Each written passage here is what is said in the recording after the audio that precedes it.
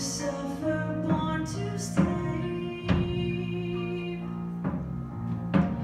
born to raise us from the grave. Christ the everlasting Lord, He shall reign.